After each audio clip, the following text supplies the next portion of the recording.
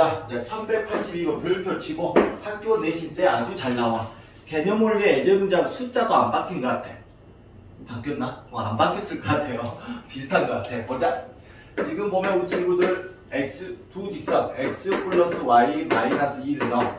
그리고 mx 마이너스 y 플러스 m 플러스 1은 0이 제1사분면에 만나도록 하는 실수 m의 값이지. 그러면 그래프를 그려보자 우리 친구들. 그래프를. 항상 그래프일 때 y는 땡땡. y는 우리 친구들 마이너스 x 플러스 2지 우리 친구들. 그렇지? 그러면 y 절편 2고 그렇지. x 절편 또 2고 그렇지.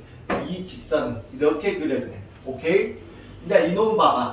이놈 봐봐. 어, m이라는 게 되겠지. m의 값에 관계없이 항상 지나는 점을 우리가 구해야 되겠지. 그래 안 그래? 왜냐면 직선이 있는데 이렇게 될지 이렇게 될지 이렇게 될지 모르지만 m에 관계 없이 항상 지나는 점이 있겠지. 그래 안 그래 친구들? 그 점을 중심으로 어? 어? 어? 이렇게 그리는 거잖아. 그렇지? m에 대한 항등식이니까 m에 대한 항등식 m 는 0. 그러면 여기는 x로 친구들 x 플러스 1. 다음에 여기는 마이너스 y 플러스 1. M의 값에 m의 값에 관계없이 x 좌표는 마이너스 1이고 y 좌표는 1이네. 오이고 선생님 운 좋게 맞았네요. 대충 마이너스 1,1. 그럼 이 직선은 무조건 무조건 마이너스 1,1을 지난다는 m의 값에 관계없이. 이렇게 지날 수도 있고 뭐 이렇게 지날 수도 있어.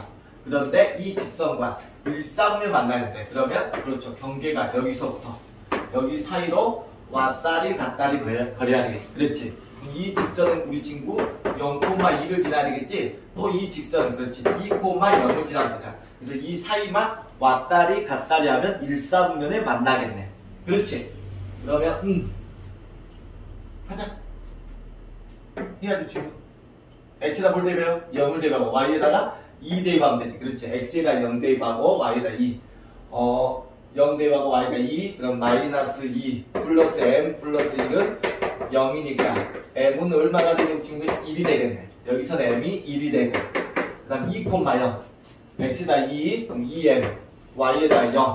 m 플러스 1은 0이니까 3m은 마이너스 1. 그럼 m은 마이너스 3분의 1. 여기는 m이 마이너스 3분의 1. 이 사이만 왔다리 갔다리 거리면 될거 아니야. 그렇지. 그럼 범위는 마이너스 3분의 1에서 1 사이가 되지. 등호가 들어가면 안 되지. 왜? 축이라는 것은 면이 아니니까. 그래 안 그렇죠 친구들. 그렇죠? 네, 답은 마이너스 3분의 1과 1 사이가 되면 되겠습니다. 됐나요 우리 친구들? 예.